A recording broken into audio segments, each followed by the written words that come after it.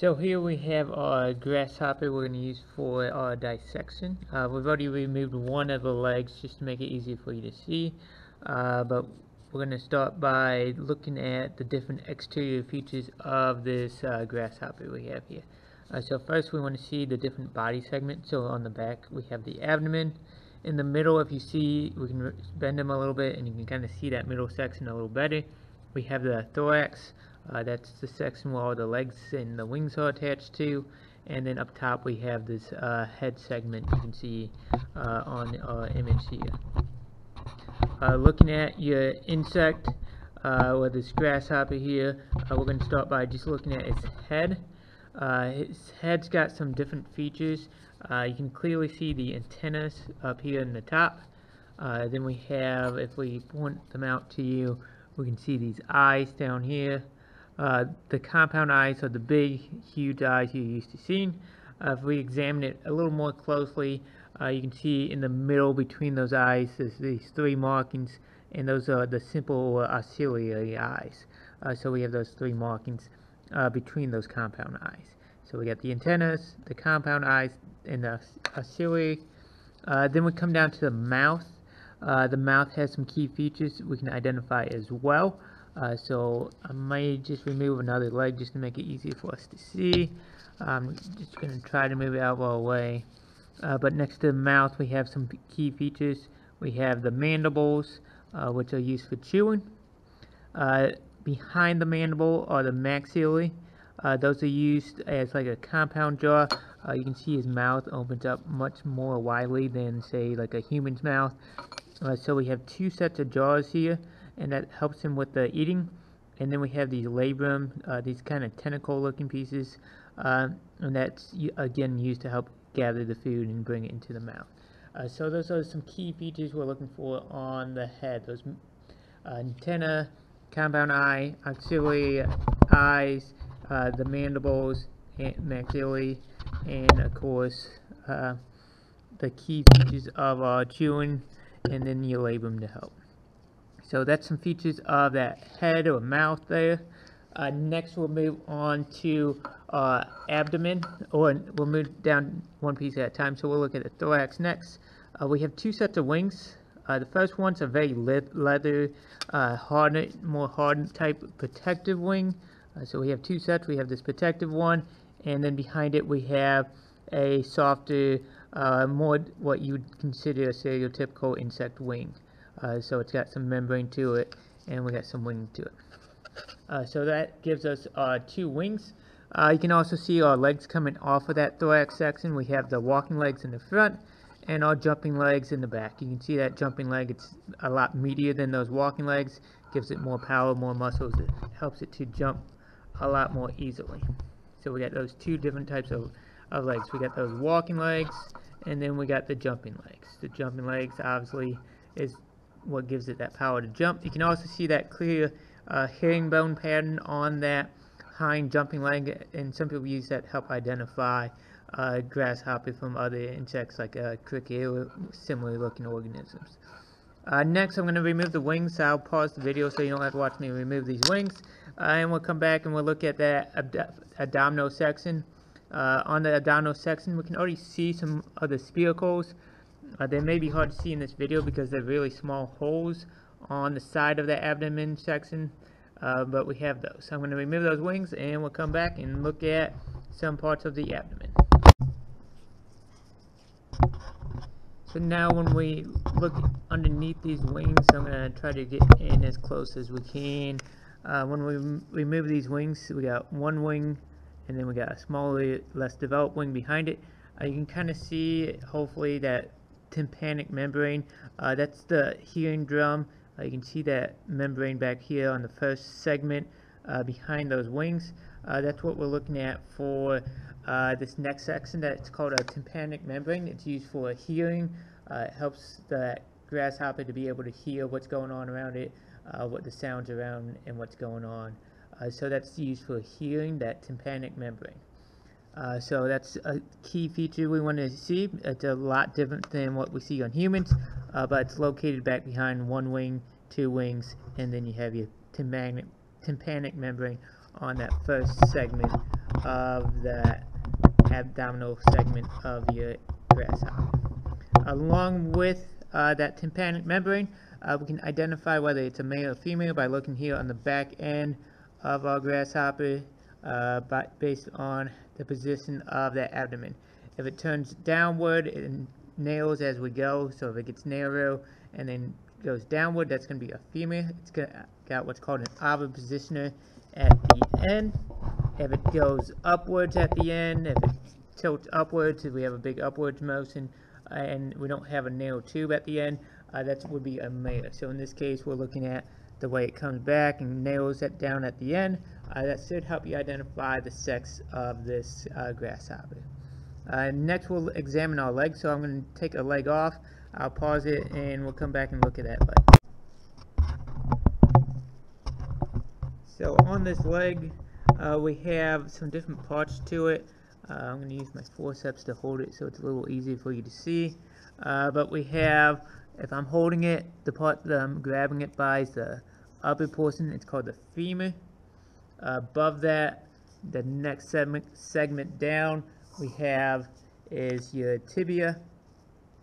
So we have your tibia, your femur, and then above it, where it attaches, we're looking at what's called a, a coxa. So we have a coxa, a femur, and then a tibia. So some of those bones, uh, if you're used to the names of human bones, uh, I'm grabbing it, it's the femur. That's the in humans, that's the largest, uh, strongest bone we have in our body.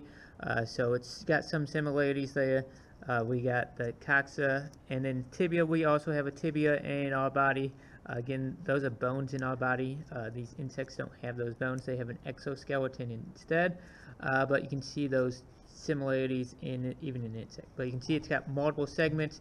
There's more than just two segments. We have additional segments down below uh, past that tibia in this uh, grasshopper. Uh, so that's our leg. Uh, next we'll move on and look at some uh, interior segments of this grasshopper. Uh, just real quick to review before we move on to the interior, we got our head segment with the antennas, with the compound eyes, the axillae, your mandibles, your maxillae, and then your labium. Uh, in the middle we have our thorax, uh, it's where the wings are found, it's where these different legs are found, we've already removed some of those legs.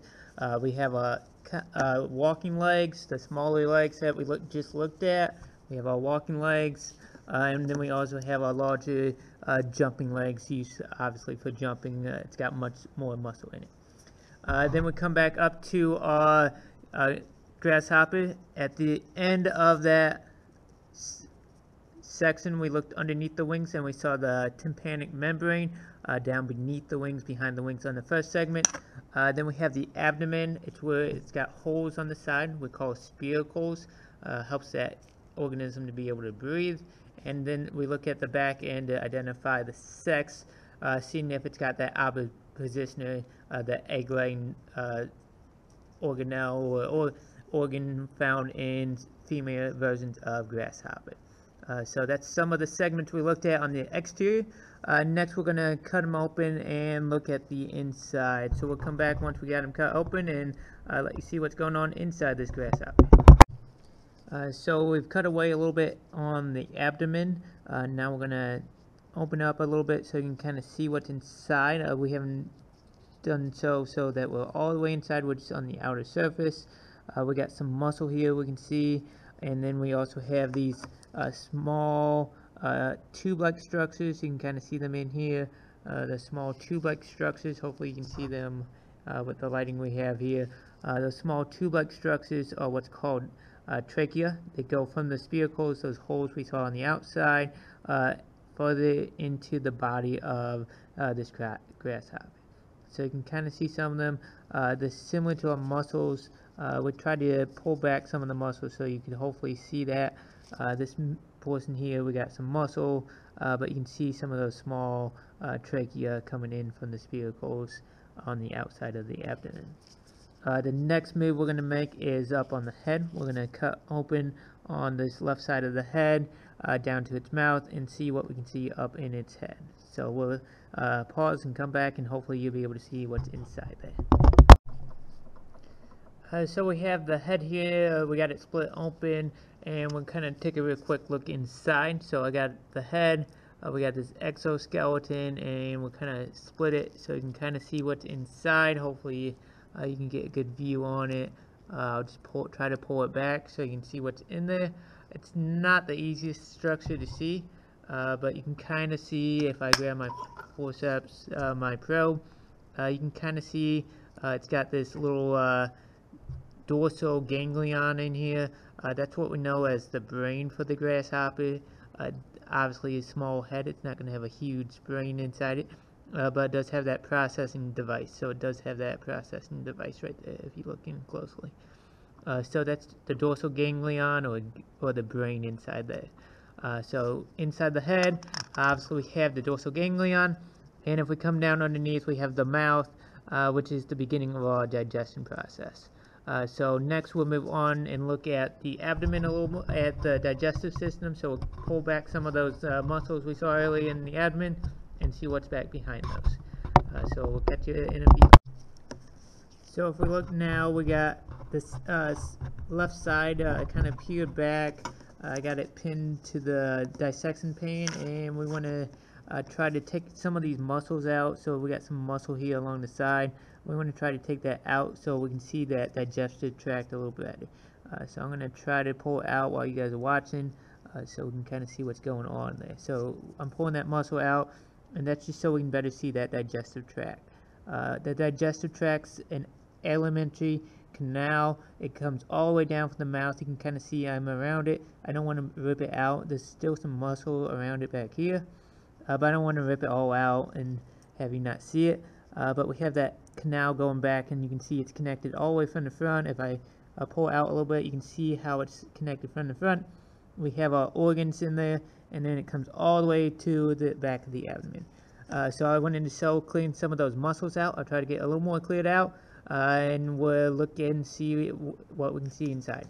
Uh, we'll catch in a few. So now we got a little more cleared out. Uh, we're looking up here. I've removed the head to make it a little easier for you to see up here. Uh, we got the crop. So the crop's at the beginning where uh, we have some food storage taking place up there. Uh, then we come into a gizzard. Uh, gizzard, uh, if you've eaten turkey gizzard, you may be familiar with it. So we got some gizzard.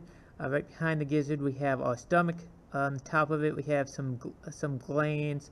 Uh, these glands are used to secrete uh, different enzymes into the stomach uh, called gastric cilia. Uh, but they're on top of the stomach there, so the stomach's right there underneath. Uh, hopefully you get a good view of it uh, there. but we have our gastric cilia above and then the stomach underneath. from there we go to our midgut. the midgut is going to be where some absorption is going to start taking place. We've digested, we've broken down the food, and now we're going to have some uh, absorption of those nutrients starting to take place. The farther back we go, the more nutrients we have take place. Uh, this case, I did end up breaking off in between those uh, where we get to the intestines here in the back, uh, but you can still see where those intestines run down all the way to the length of the body. Uh, so we have a crop, a gizzard, a stomach, uh, different uh, intestines leading to the rectum that's going to release waste out the anus, out the back of this organism. Uh, so those are some key parts of the stomach we're looking for. So we start up in the esophagus is what's bringing the food down. You can see this guy, he's actually got some food in his, uh, coming down into his stomach, into the crop right there. Uh, the esophagus is what comes straight from the mouth. So we go from the mouth to the esophagus.